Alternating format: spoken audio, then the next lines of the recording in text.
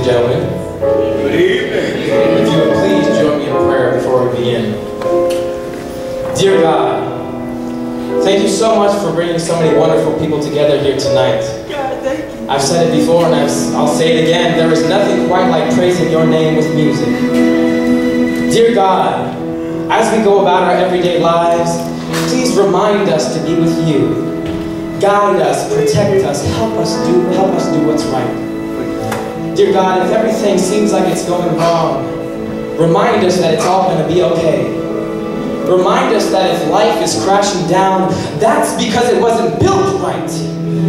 But with you, God, we can lay a foundation for a life that will last even beyond this one. Dear God, in recent weeks we have seen the worst of what humanity is capable of in the tragedy in Boston.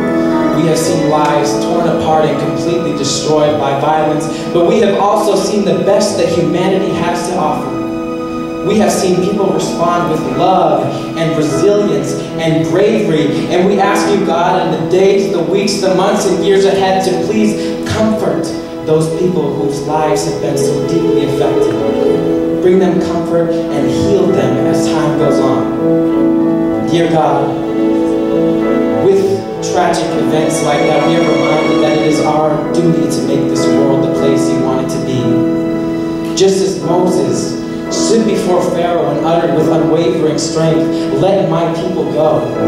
It is our duty to stand before violence and hatred and discrimination to say, Let our people go. Let all people go. Dear God, thank you for all that you do for us. Thank you for the lives you have blessed us with for every breath we take. Let us make the most of every day and thank you for this wonderful evening. Amen. Amen.